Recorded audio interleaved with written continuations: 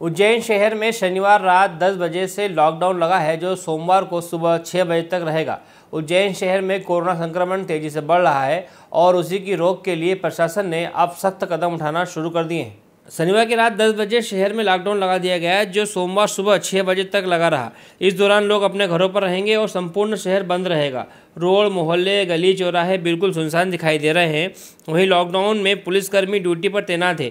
जगह जगह बैरिकेड्स कर रखी है। प्रमुख रोड को उन्होंने बंद किया हुआ है और सुरक्षा व्यवस्था चाक चौबंद है। पूरे उज्जैन शहर के अंदर इस समय लॉकडाउन में बाज़ार खाली है।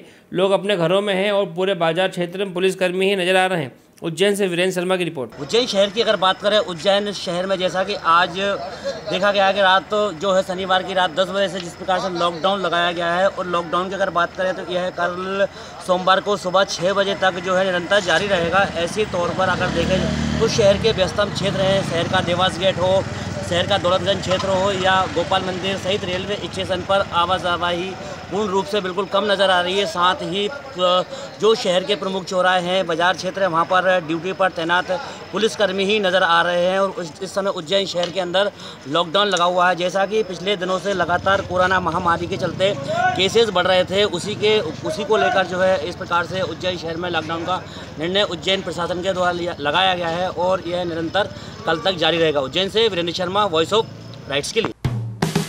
हेलो फ्रेंड्स आप देख रहे हैं हमारा channel S W twenty four news हमारे सारे वीडियो सबसे पहले देखने के लिए आप हमारे चैनल को सब्सक्राइब करें और पास में लगे बेल आइकन को दबाना बिल्कुल भी ना भूलें।